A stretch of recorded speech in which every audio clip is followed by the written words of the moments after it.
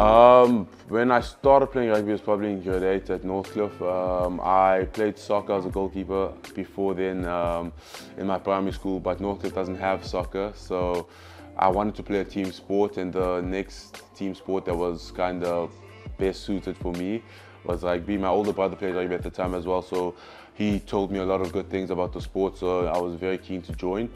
Um, I, yeah, I, I pretty much played rugby just to stay active. I was a very active uh, child growing up, always out and about and outdoors was always my thing. So doing a team sport really mattered to me and it, it kept me kept me busy for throughout my high school career after school. So that's that's why I why I started. I started at wing. I played wing and centre in grade eight.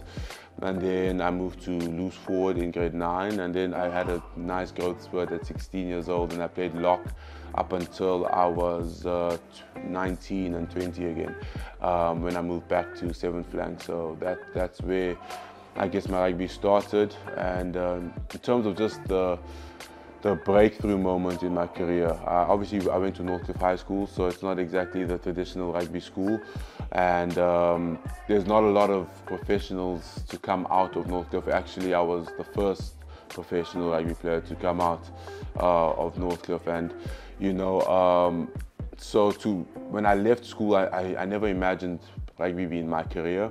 It was always something that I, I used to just pay some of my. I got a 40% bursary at UJ at the time, so I just wanted to help my parents uh, take the cost off the school fees.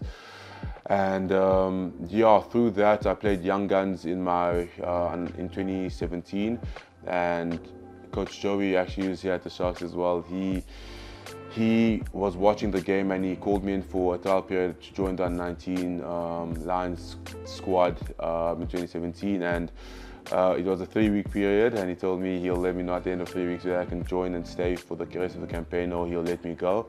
And I was fortunate enough to stay and you know we went on to win that competition.